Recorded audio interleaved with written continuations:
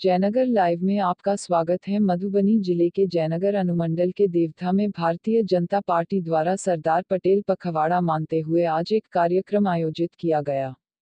इस कार्यक्रम का विधिवत उद्घाटन राजनगर के विधायक रामप्रीत पासवान एवं जयनगर नगर पंचायत के मुख्य पार्षद सह एनडीए के अनुमंडल संयोजक कैलाश पासवान ने संयुक्त रूप से किया। कार्यक्रम वहाँ के स्कूली बच्चियों के द्वारा स्वागत गान और अतिथियों को मिथिला परंपरा अनुसार पाग माला और दोपटा पहनाकर किया गया।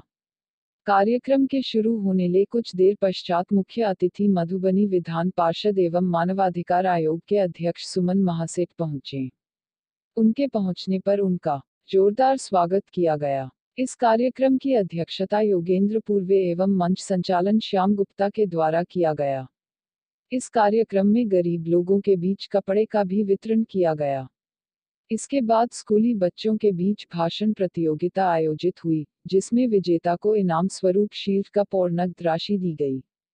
वहीं अपने भाषण में वक्ताओं ने सरदार पटेल को जीवनी के बारे में बताया और केंद्र सरकार की उपलब्धि बताए इस कार्यक्रम में सैकड़ों की संख्या में लोग मौजूद थे। सरदार पटेल जयंती पखवाड़ा के एक कार्यक्रम में,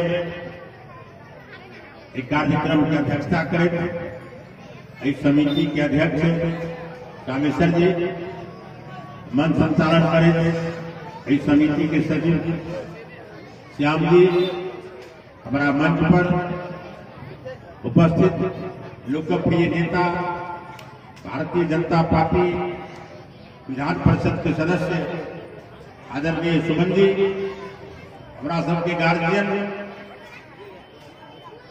विद्यार्थी जीवन से